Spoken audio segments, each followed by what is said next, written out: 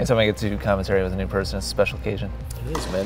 Um, I feel like we need to. Oh, they're just starting right off into the Going, aggressive going play. right into offense. Interesting. It's just like No, I, I'm gonna just just strangle Joel to death right now. That's what he's thinking. Slowly. if he dies, he dies.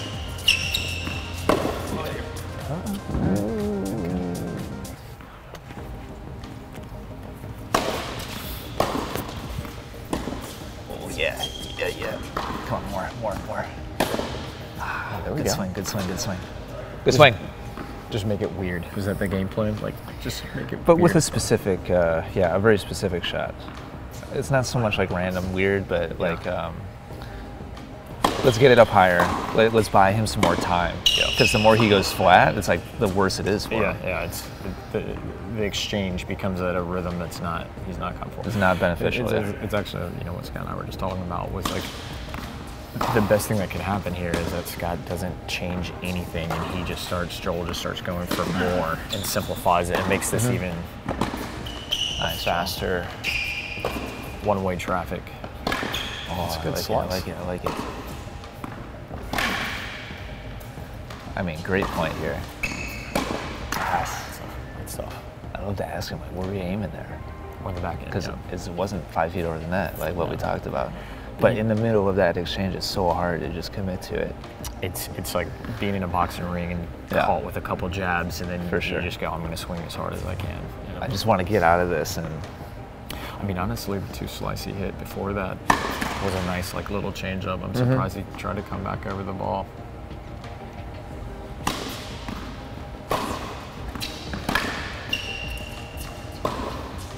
But I mean, Scott's only made one unforced.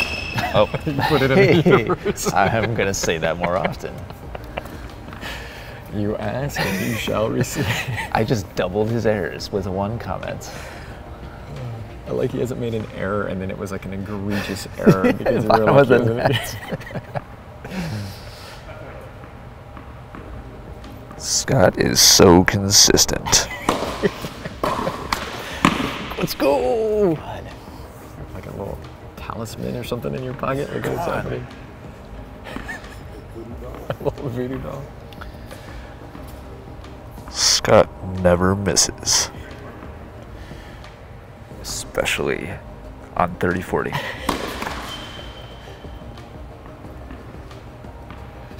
This is way more fun being on the commentary booth.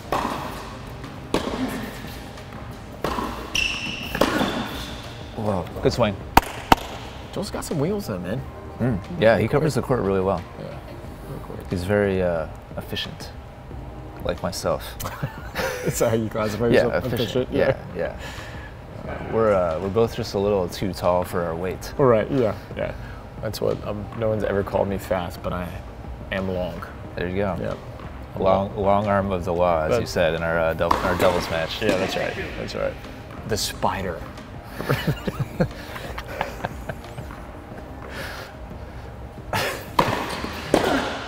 Big serve. Was that a second, or was it a, a let? I think it was a let. Okay. Yeah. I was gonna say now Scott's just Yeah, being a just, dick. Yeah. Where are we at? Is that four zero right now? yeah. Yeah, dude, the commentary is so much fun, especially when it's like a, a tight match and like you know both the players. Oh,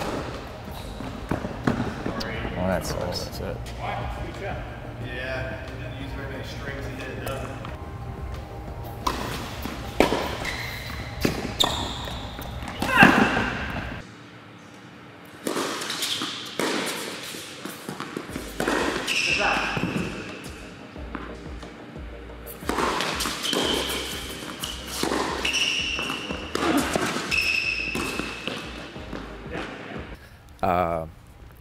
It might it might sound like a uh, like a false uh, like compliment, but just the fact that you've gotten to 30 in a couple games, you know, like you've you've given him enough shots.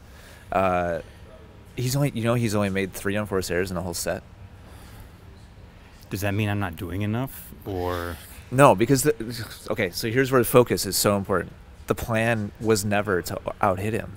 It never was, right? But it was to goad him into making mistakes. And the thing is, to be able to do that, I need to have a ball that I can set up for and create a mistake ball for him. And I'm just on. I'm like the cat chasing the little fuzzy Yeah. catnip around the room. I, I can't set up. I can't.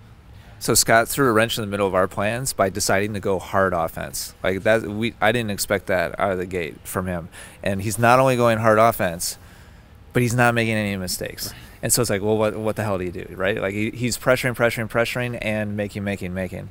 And so that forces our hand to we have to double down one way or the other. Well, we either have to go mega consistent. That was like the really high loopy, you know, spinny, which you got a couple in there like Yeah, yeah. two games ago.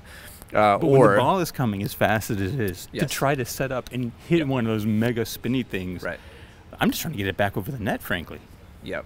And so that's that's where we're at. And so that's basically our opportunity at this point is we know he's pressing. He's going to continue to do that as long as it's working. And so your opportunity here is to work on your ability to calmly still hit the type of shot you want to hit even though you're under duress. Okay. And that's that's just that's the challenge today. Okay. But I don't see like a way out of this where it's like, oh, all you got to do is like hit it short to the backhand and like that unlocks the match. Like Right, there, right, right. there's not that kind of like simple answer in this kind of David and Goliath uh, setup.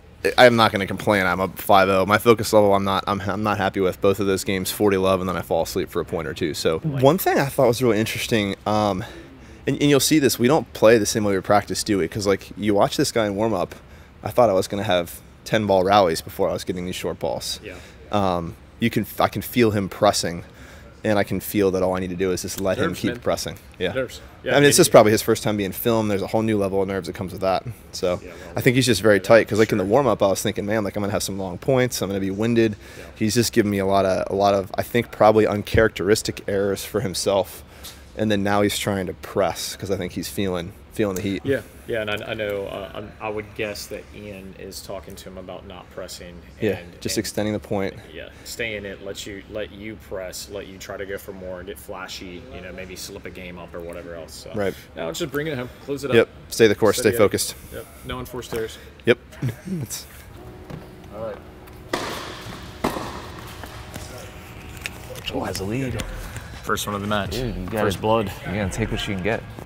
Underhand serve, hit the ball. Uh, he's just he's just going for it. I mean, at this point at five that may not be a bad strategy. Just connect with a couple. Yeah, I caught it. 24 points in a row. just Starts with one. It's it's happened at some point in history. It's had to, right? Oh yeah, for sure. Oh damn. Yeah, that's tough. Yeah, that's tough. Inside in, small part of the line. Just call it out, Joel. Oh yeah, yeah. call that that's, out. that's a solution. It seemed kind of obvious, but you know.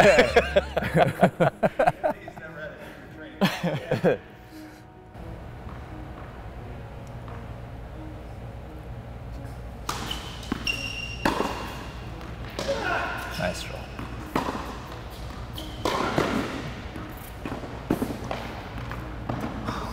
Rude.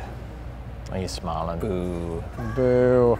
It's a weird if I'm, I'm like coaching him and I'm rooting against him. Not in this instance. No. Even Kenny. Kenny's like, I'm not rooting for him either. Good return, Scott.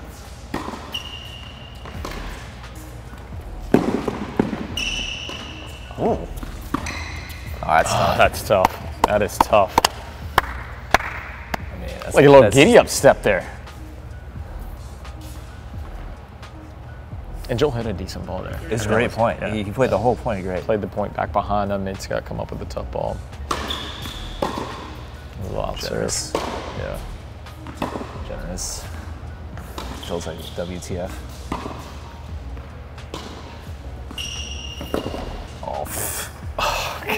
Boo. Good point, guys. Uh, that is tough. All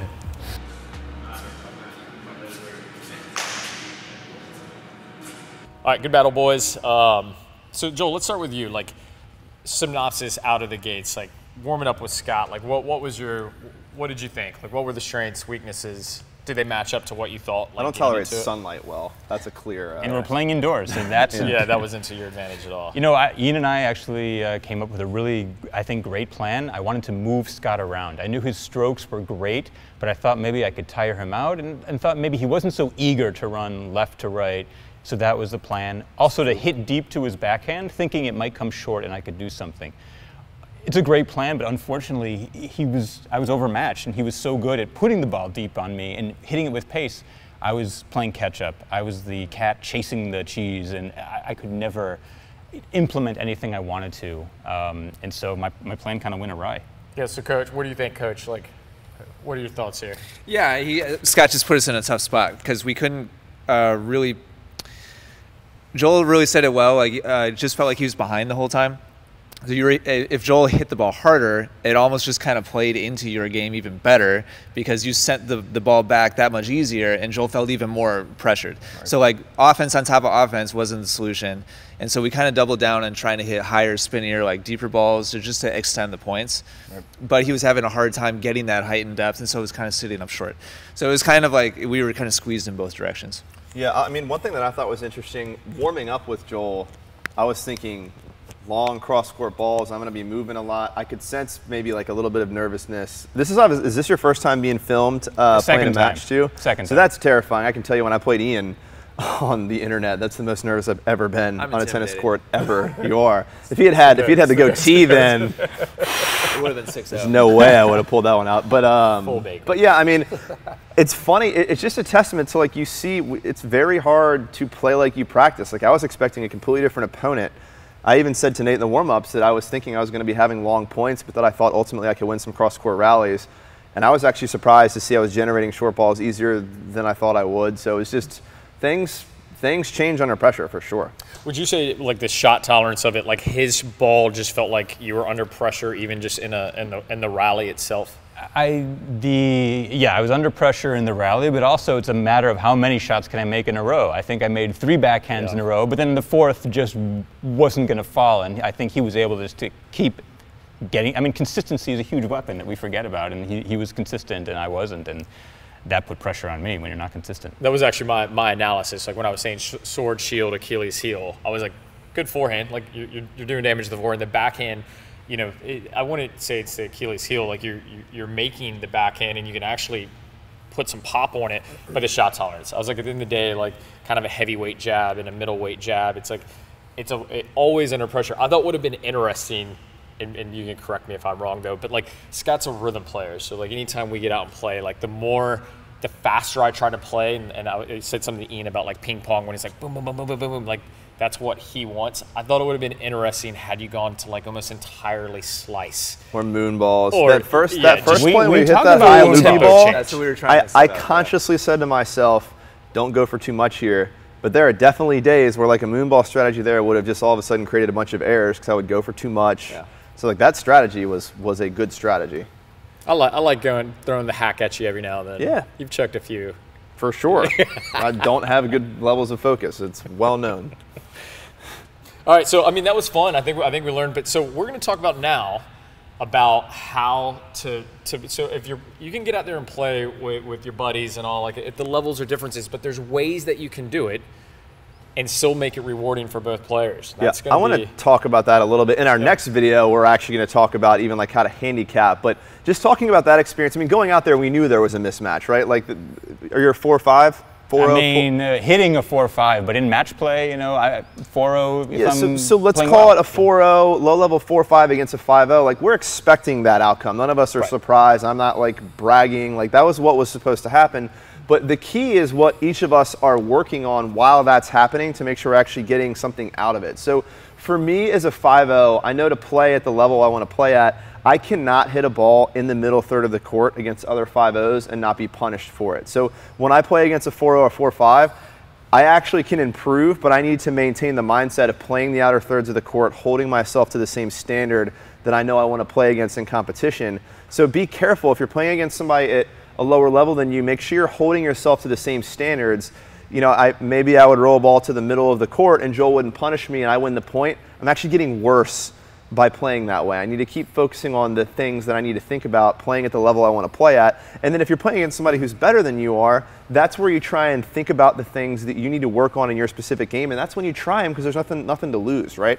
That's when you try the things that you've been working on in practice and see if you can start putting some of these things together. Well, so we're glad you said that because Ian and I have some special stipulations planned for this next set. Uh-oh. So- All right, you're going to want to see this next video, I think. I'm not, it sounds like, but. All right, guys, stay tuned. We will see you in the next video.